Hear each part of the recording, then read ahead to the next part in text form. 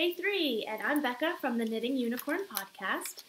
Um, so today we had Sip and Stitch, and um, that was the video that you saw before this entry. Um, we all get together at Buckley's in Merrimack, New Hampshire on Sundays from 3 to 6, and we knit, and it's a lot of fun.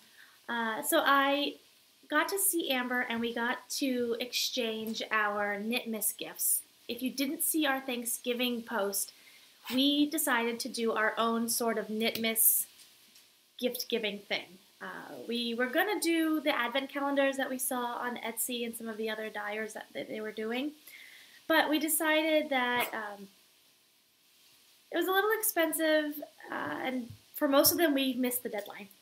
So we decided to do our own. And at first, we were going to do the advent and get each other minis, and then we were like, oh, we're not huge mini people.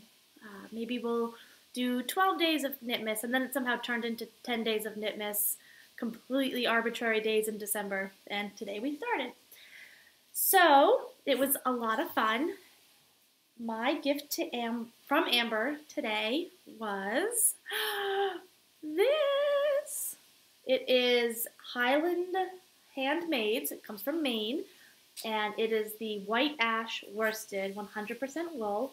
It's um, one single ply. It doesn't have any twist to it. And the color is called Holi, which if you don't know, Holi is a um, holiday in India, a Hindu holiday, and it's celebrated with using lots of bright festive colors. And this is bright and festive and it matches my hair. So, yay, I love this so much. And then a surprise gift from Jenn Stack. Um, and I'll put a link for Jenn below. She has some great soft knitting patterns on Ravelry. The Snip Snap socks, they're really cool. And I'm doing a pair right now for my brother.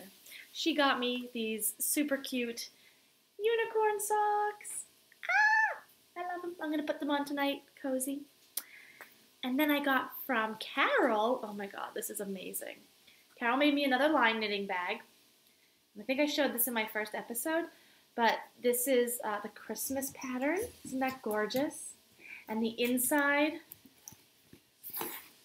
is this Christmassy plaid. Oh my god, I love this. And these bags are really cool because you can put it on your arm like this. So when you're walking around or standing in line, at Rhinebeck, as you might do, you can have it just hanging here. And it's a much sturdier situation on your arm than having the little thin straps that come on a lot of other project bags. So I am so excited about this. Um, this fabric I don't believe is available in their shop, but this style of bag is, so check it out. And then the last thing I got, also from Carol, was a stitch marker, and it is a Eggo waffle